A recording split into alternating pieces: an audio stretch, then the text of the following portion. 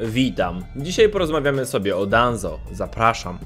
Standardowo to najlepsze komentarze poprzedniego odcinka, a to są moi wspierający, którzy w przeciwieństwie do Danzo załatwiają wszystko hajsem, nie siłą.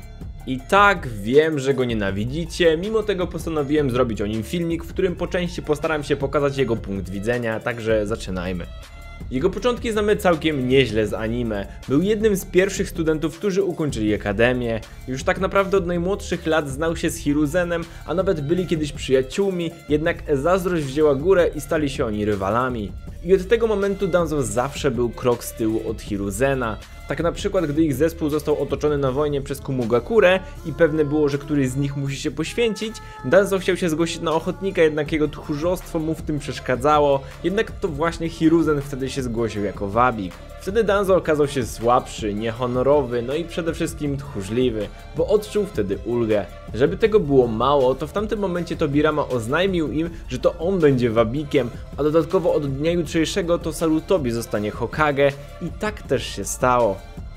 Oczywiście zazdrość Danzo musiała tutaj wejść na kolejny szczebel, dokładnie tak samo jak jego rywal, więc postanowił on, że sam kiedyś zostanie Hokage, a stworzył on nawet korzeń, który był niezależny właśnie od Hokage, za to władał nim Danzo i z pomocą shinobi o znaczących umiejętnościach planował i realizował tajne operacje.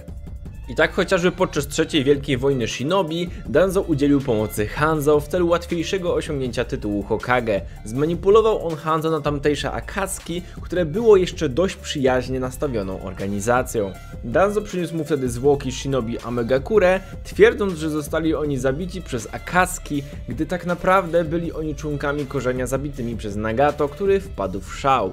W tym momencie Hanzo zaczął planować zemstę na Akatsuki. Danzo nie poprzestał tylko na tym, przebrał się za shinobi Amegakure i podstępem wmówił członkom Akatsuki, że Hanzo pozwala im na negocjacje pokojowe, co oczywiście było podstępem wymyślonym przez dwójkę sojuszników. Dodatkowo porwali oni wtedy Conan, a niczego nie spodziewający się Yahiko i Nagato poszli na spotkanie z Hanzo, czyli jak myśleli sojusznikiem. I oczywiście to wszystko było tylko częścią większego planu, który polegał na wyeliminowaniu Akatsuki, przynajmniej w tej pierwszej formie i tutaj się zatrzymamy. Zapewne większość z Was w tym momencie przeklina Danzo za to, że tak naprawdę to on przyczynił się do powstania znacznie groźniejszej organizacji, czyli do tego Akatsuki, które znamy od początku, że tak naprawdę to też przez niego Yahiko zginął i Nagato stworzył Paina. Jest to nieco bardziej skomplikowane, wchodzi tutaj też manipulacja Madary czy Obito, który wręcz pozwolił na taką rzeź, ale jak się nad tym zastanowić, to Danzo postąpił całkiem rozsądnie. I zanim się wściekniecie, to posłuchajcie mojego wytłumaczenia.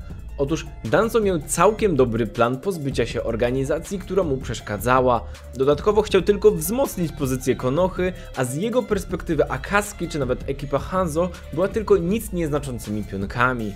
To, że potoczyło się to wszystko nie po jego myśli, a wręcz spowodowało niefortunny bieg wydarzeń, było wręcz nie do przewidzenia. I tak Danzo podjął całkiem słuszną decyzję, która była dobra dla wioski, ale niestety okazała się tragiczna i to dopiero po latach. Następnym takim ważnym momentem w historii Danzo była ogólna współpraca z Orochimaru. W tamtym też momencie chociażby Orochimaru przeprowadził operację na Danzo, zastępując jego prawe ramię przy pomocy DNA Hashiramy, co dało mu ogólnego boosta, czy zwerbował Kabuto do swojego korzenia i gdy tylko Kabuto i Nono wiedzieli zbyt dużo, to Danzo postanowił się ich pozbyć. I chociaż ponownie brzmi to bardzo okrutnie z perspektywy Kabuto, to znów to wcale nie była jakaś zła decyzja. Niehumanitarna? No jasne, ale jak najbardziej właściwa dla ogółu wioski. Kabuto, Nono czy cały korzeń w oczach Danzo, oni wszyscy byli tylko narzędziami niezbędnymi do wykonania danego celu. Później, gdy nastąpił atak Kyubiego na wioskę, Danzo podejrzewał klan Uchiha o to, że to oni mogą stać za tym atakiem, a nawet przekonał Hiruzena do tego, żeby członkowie tego klanu nie uczestniczyli w walce z Kyubim, później nawet odciął ich w pewien sposób od wioski, a Danzo w jeszcze późniejszym czasie rozpoczął operację szpiegowską nad tym właśnie klanem. Czy było to słuszne założenie? Jak najbardziej. Czy miał powody, żeby tak myśleć? Jeszcze jak. Było od dawna wiadomo, że klan Uchiha jest swego rodzaju barbarzyński, rozwijają się poprzez cierpienie, a dzięki swojemu dojutsu są w stanie kontrolować właśnie takie ogoniaste bestie, więc jak najbardziej były powody, by tak myśleć. Nawet był to całkiem trafny punkt, z tym, że nikt z wioski nie kontrolował Quibiego, a był nim Obito Uchiha, który był wtedy uznawany za martwego. Po całej walce z Kyubim, jak doskonale wiemy, nie wyszedł cało czwarty Hokage, co spowodowało, że Hiruzen ponownie objął stanowisko Hokage, co oczywiście nie spodobało się Danzo. Z racji, że miał już dość trzeciego Hokage, postanowił się go pozbyć, wysłał on członków korzenia, aby go zamordowali, jednak im się to nie udało. Hiruzen wtedy odbył rozmowę z Danzo i zdradził mu, że wiedział o zamachu, a Danzo nie zostanie stracony za ten akt nieposłuszeństwa, jeśli obieca, że poświęci swoje życie ochronie wioski. I cóż, tutaj błąd po stronie Hiruzena był za miękki. Powinien go wtedy stracić, to na pewno. W dodatku skłaniając go do złożenia takiej obietnicy, nic się nie zmieniło, bo niby dlaczego by miało, skoro Danzo w swoim mniemaniu przecież ciągle dbał o wioskę. Dodatkowo ponownie tutaj pokazał swój punkt myślenia, czyli po trupach do celu, z tym, że w tym przypadku to było słabe zagranie. W sensie, jak najbardziej jestem w stanie zrozumieć to, co chciał osiągnąć i czemu to zrobił, ale wtedy mógłby wywołać tylko panikę w wiosce, nieważne jakby przedstawił śmierć Hokage. Później, gdy do Konochy dotarła wieść, że klan Uchiha planuje zamach stanu, Danzo ponownie wtrącił swoje łapska. Shisui chciał rzucić Koto Amatsukami na swój klan, aby uniemożliwić członkom swojego klanu jakikolwiek akt przemocy wobec wioski. Hiruzen się nawet na to zgodził, jednak Danzo nie był pewien czy Shisui mówi prawdę i twierdził, że może on nimi manipulować, dlatego ukradł oko Shisuiego i wszczepił je sobie. Następnie przekonał Itachiego, że należy zabić wszystkich członków jego klanu, aby uniemożliwić im w ten sposób zamach stanu. Itachi z wielkim żalem zgodził się na plan i wykonał rozkaz. Po masakrze Danzo wmówił wszystkim, że Itachi zrobił to wszystko z własnej woli, a w dodatku ukradł oczy Shisuiego, ale Hiruzen mu w tą bajkę nie uwierzył i kazał rozwiązać korzeń. Mimo to oczywiście Danzo nie posłuchał i w tajemnicy nadal korzeń istniał i ponownie możemy się tutaj zatrzymać. Po pierwsze, to co zrobił Danzo Shisuim ponownie było bardzo okrutne, ale jak najbardziej rozsądne z jego punktu widzenia. No wiecie, my jako widzowie obserwujący każdego z zewnątrz możemy zakładać, że Shisui zrobiłby to co obiecał, czyli rzucił potężne genjutsu na swoją społeczność, ale z perspektywy Danzo to nie było w pełni oczywiste wyjście. Danzo był po prostu gościem, który nie ufał nikomu poza sobą. Co do drugiej kwestii Itachiego, najpewniej plan pozbycia się jego pobratymców był jedyną opcją. Bardzo okrutną, znowu niehumanitarną, niedoskonałą, jednak skuteczną. W przypadku Uchiha sprawa jest o tyle skomplikowana, że to tak jak już mówiłem, klan żywiący się nienawiścią, walką, cierpieniem, oni po prostu rozwijali się najlepiej w momencie, w którym wokół był chaos. Pierwsza opcja, czyli użycie Kotoa Matsukami byłoby znacznie łagodniejszą i lepszą opcją, niestety w oczach Danzo niepewną, niekompletną i niewystarczającą. Co do jeszcze ostatniej części mojego poprzedniego wywodu było jeszcze wybielenie swojego imienia, ale to uważam za zbyt oczywiste do tłumaczenia, nie dziwię się temu w ogóle, bo niby dlaczego miałby nie oczyścić się z zarzutów, jeśli mógł. Prawdopodobnie większość z nas zrobiłoby identycznie, a i jeszcze to, że Danzo nie posłuchał i nie wyeliminował korzenia było też do przewidzenia. W końcu trzeci Hokage wiedział o jego poprzednich wybrykach i nic sobie z tego nie robił, więc równie dobrze Danzo mógł prowadzić sobie korzeń w nieskończoność.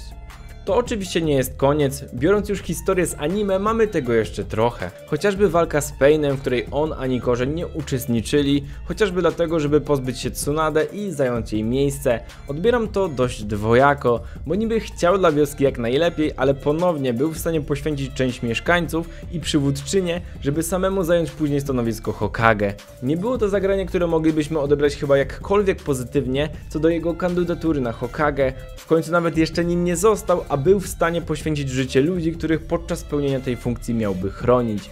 Podczas tego ataku wydarzyła się jeszcze jedna rzecz, a mianowicie to, że zabił on żabę posłańca, Kosuke, który miał sprowadzić Naruto, aby ten pomógł im z Painem. I znowu to samo, z perspektywy widza było to ohydne, bo my jako widzowie wiemy, że raczej nic się nie stanie głównemu bohaterowi, ale z punktu widzenia Danzo było to słuszne i jak najbardziej rozsądne, bo czy tak nie było? W końcu Pain przyszedł właśnie po Naruto, a konkretniej po Kyubiego, a Tsunade chciała wręcz podać mu go na tacy.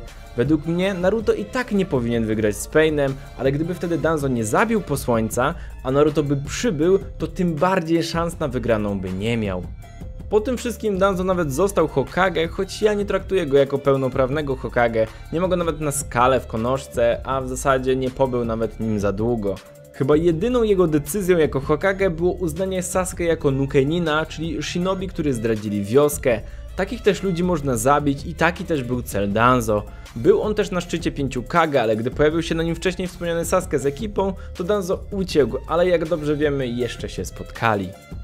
I jeżeli chodzi o tą decyzję, to znów przytoczę to, co mówiłem już niejednokrotnie. Ta decyzja była racjonalna, tak naprawdę powinna była zapaść bardzo dawno temu. To było wręcz żartem, że trzeba było czekać tyle lat, aby uznać Saskę za wroga wioski, co niejednokrotnie wprost mówił. Jednak to, że uciekł ze szczytu Kage było po prostu żałosne. Jako lider wioski powinien świecić najlepszym przykładem dla swoich poddanych, niestety było kompletnie odwrotnie. Ogólnie rzecz biorąc, Danzo jako człowiek był tak jak ludzie słusznie uważają śmieciem. Nie dbał o ludzi, nawet o swoich podwładnych z korzenia, byli oni dla niego tylko narzędziem, których używał i nie bał się ich posyłać na straty. Manipulował, był tchórzliwy, tak naprawdę był też słaby jeśli chodzi o jego umiejętności, jednak czy to znaczy, że był niepotrzebny? Nie wiem jak to inaczej ująć, czy to w przypadku Tsunade czy Hiruzena, Danzo był od nich bardziej racjonalny, potrafił wszystko przyjąć na chłodno, tymczasem trzeci Hokage jak i piąta byli po prostu zbyt pobłażliwi, zbyt mięccy, patrzący na świat przez pryzmat emocji i nie tłumaczę tutaj wcale zachowania Danzo, próbuję tylko pokazać jego punkt widzenia. Nie uważam też, żeby był dobrym Hokage, ponieważ ludzie mogliby się nadzwyczajnie jego bać. Był potrzebny jako dopełniacz aktualnych Kage, ale jako główny Hokage mógłby sprowadzić na wioskę mroczne czasy. Na pewno był też naprawdę zmotywowany, co jest dość pożądane w dzisiejszym świecie, a mimo tego naszła mnie taka rozkmina, czy taka motywacja poprzez zazdrość nie jest negatywna? Jednak Danzo zawsze był krok w tył od Hiruzena, co niby powodowało, że również i on się piął wyżej, ale kosztem bycia zgorzkniałym i tak naprawdę smutnym człowiekiem. Podsumowując, Danzo był człowiekiem zimnym, racjonalnym, konsekwentnym i nie miał żadnych wyrzutów sumienia. Jego decyzje często były jasne i uzasadnione, niestety też miał pecha i większość z nich była niefortunna, z tego też powodu, że na dłuższą metę powodowała coś gorszego aniżeli lepszego i dopiero często po latach okazywało się, że lepiej by było jakby nic nie zrobił, ale skąd miał to wiedzieć co się stanie?